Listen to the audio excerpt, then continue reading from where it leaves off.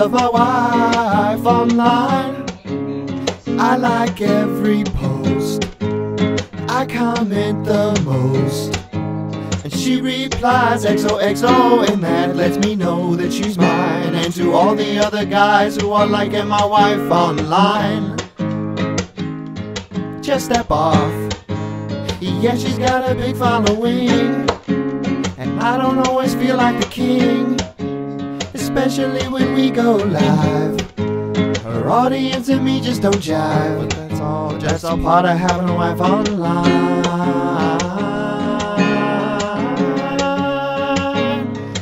It's fine,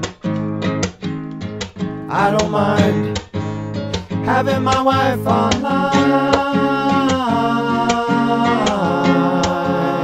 Having my wife online. It's fine, it's fine, it's fine.